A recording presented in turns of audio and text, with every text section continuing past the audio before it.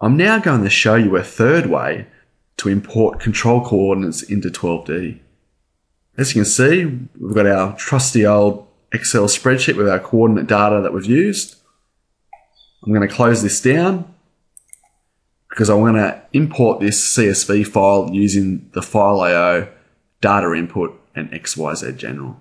So if I go up to file IO, go to the data input because we're importing the data in the 12D, go down to XYZ, and then use XYZ general.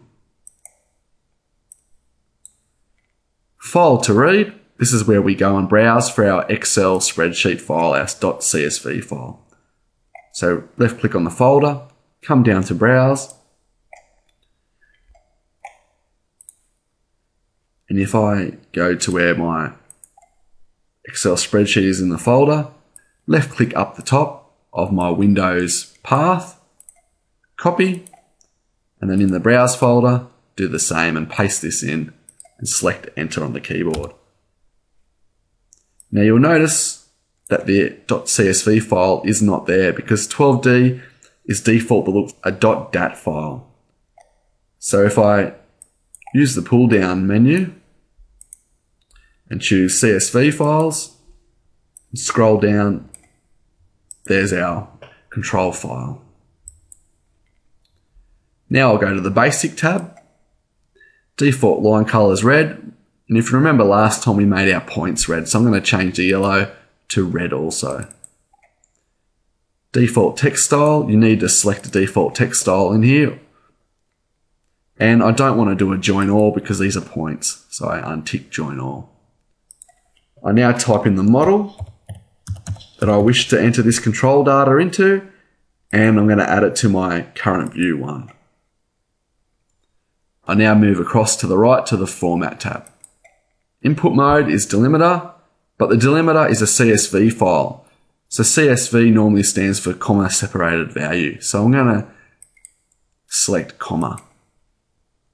Information type, if you left click and then right click in here, 12D will give you a whole bunch of options to enter the data in. And if we remember, our first row was the point ID and this is column number one.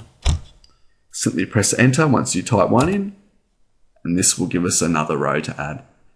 And now we remember that the second row, if we right click and browse, was the X coordinate. So we're just assigning what value was in what row in our Excel or CSV file. Y coordinate was in column 3, and our last one was our Z coordinate in column 4.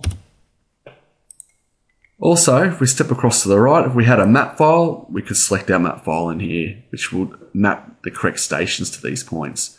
We don't have a map file, so now I'm simply going to, I'm happy with everything I've entered. I'm going to left click on read down the bottom left corner.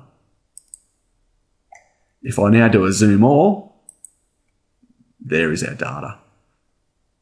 All our control stations are read in. The only thing that is left to do now is attach our station symbol to all these points.